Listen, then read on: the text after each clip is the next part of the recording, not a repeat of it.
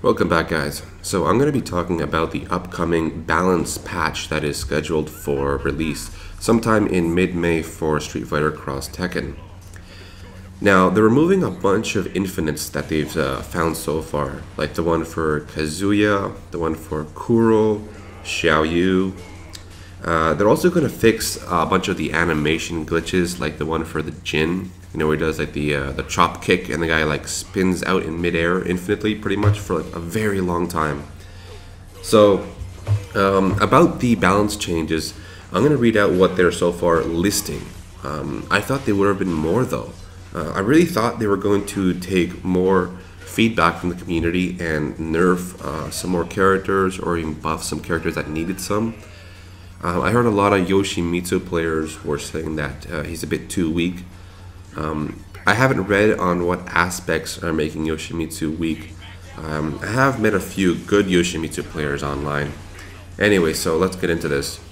So they're changing Ogre's damage properties on his crouching hard punch. So they're saying follow-ups are now not possible. Uh, I don't know, is that the move that does like the overhead smash or something? Uh, I don't know if that thing is what they're talking about. If it is, I wonder if it had like a, a floor bounce effect, because I'm not sure about it. I don't use Ogre that much, and I don't see them online that often. Now, Juri is next, and they're saying they're going to make her dive kick uh, from the air. Um, they're going to give her negative frames on a block, which is good. Which is good. I really don't want this game to turn into like a dive kick spammy game like uh, Arcade Edition did. So the light version on a standing block opponent is going to give her negative 5 frames. So I wonder if that just means like if she does a dive kick and it hits the target on like say the upper body, will she still have about like negative 5 frames that she's open from landing or can she still be safe if she does the dive kick on a blocked opponent and hits them on the foot or the knee level? Uh, that's what I'm wondering if it's like uh, arcade edition, um, then I believe she'll have to use it so it hits the lower body to be more safe. Uh, if she goes to do it like on the upper body, she's going to be negative. I think that's what it is. Um, the medium punch, well, I mean, not the medium punch, the medium kick version is negative 10 frames. That is a lot. That is a lot of frames. Wow. Uh, Rufus, his dive kick is also getting changed up a bit, also. They're saying the hurt box added to his feet, uh, and the move is no longer crossing up uh, players easily. Um, I only got hit by that a few times because it seems when you're getting up, sometimes it's hard to distinguish which direction it's going to hit you from, especially as soon as you're getting up. It's like one or two frames, and you don't have enough time to react, so you just gotta guess. Um, the other thing is they're going to modify the uh, dive kick on a blocked opponent. So if they block his dive kick, he'll be at negative 4 frames. I'm guessing it'll be the same thing as AE, you know, like I mentioned earlier with, um, with Juri's, where if you dive kick like too much on a higher level of the opponent, like his waist or higher, you know, by the time you hit the floor, he's already recovered. So you've got to aim for probably like the, the lower area, like the waist or the legs or the or the feet around that area.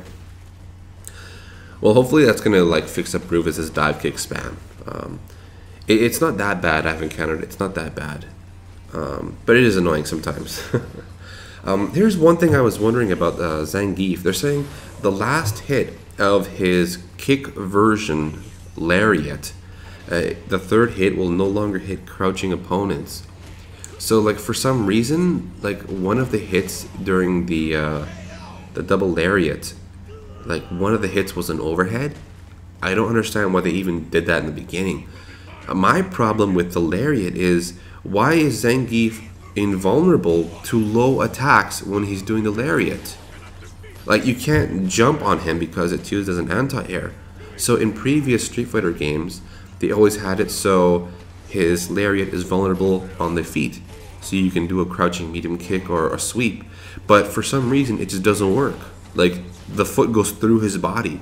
Like he's completely invulnerable on his feet, the legs, the waist, and then anything higher he just uses as an anti-air or a counter. So I don't know what's up with that. I don't know. The other thing is the uh, M Bison. Um, the fifth hit of his super art, the knee press nightmare, can now be blocked normally. I did see a video about this saying that the fifth hit from a very long range like still hits someone who's blocking, which was weird. Um, the next thing is actually something I was looking forward to. Uh, it affects everyone who's using controllers, um, like an Xbox 360. For those of you who use the analog stick or the uh, the directional pad, I noticed when you guys had the um, diagonal inputs, like you wouldn't be able to jump or do like certain motions, like it just wouldn't work. And I know.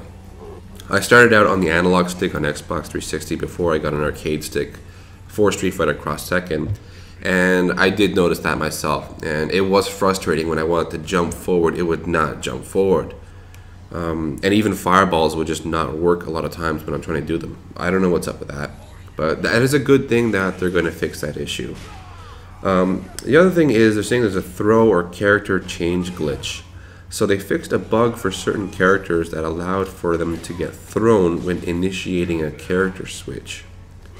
I wonder if that was just like making some characters have a few more frames or one or two frames being vulnerable as they're starting up the uh, the switch or something or coming in for a switch. I don't know. I don't know when that occurs. Uh, the other thing is the quick combo.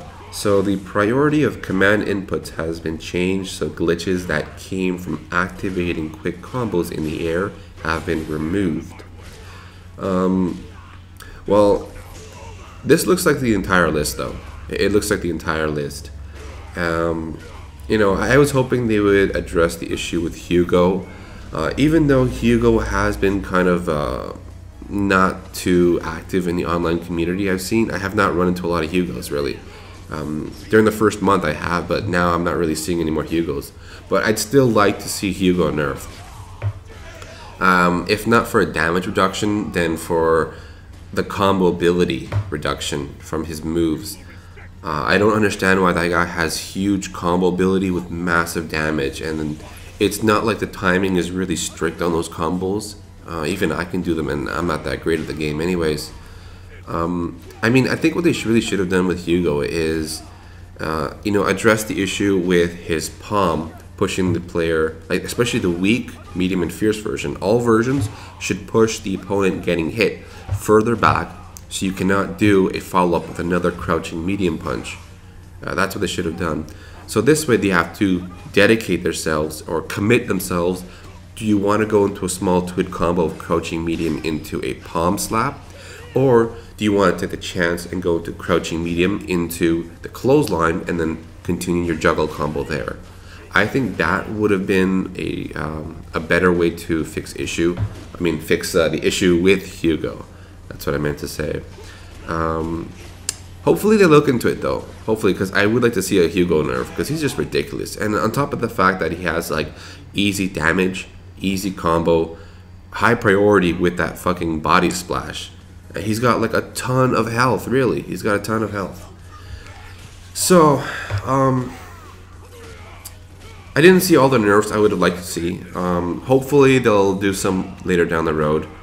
Hopefully. Um, I really want to make a video about King and how I'm really getting frustrated with using him. He's one of my favorite characters in the Tekken series, and I just can't believe how how bad some of his special moves are. Um, so, anyways, uh, yeah, if you guys play Street Fighter Cross Tekken, what do you guys think about the upcoming uh, nerfs that are coming sometime in mid-May? They said it's going to be released. So, with that out of the way, I'd like to know from you guys what nerfs would you guys like to see. So, thanks for watching, guys, and I will see you guys later.